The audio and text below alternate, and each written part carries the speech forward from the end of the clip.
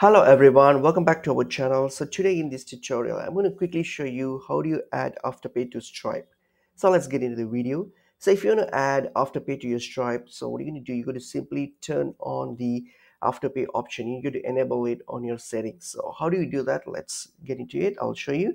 So open up your Stripe and log into your Stripe account. So once I've logged into your Stripe account, so go to the your settings option here on your top right. There'll be a settings option. So click on it so once you click on it here, you'll have the payment methods under payments. You'll have the payment method. So click on payment method. So when you get to here, so under your account, you'll be option to edit settings.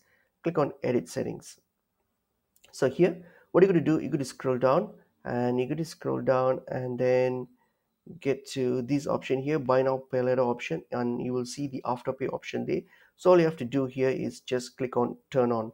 So this will um, so what happens? So this will turn on the afterpay and it will enable afterpay on your stripe. So that's how it is. So it's pretty much uh, it's pretty much easy and straightforward. So hope this video is helpful. I'll see you all in um, another video. Thank you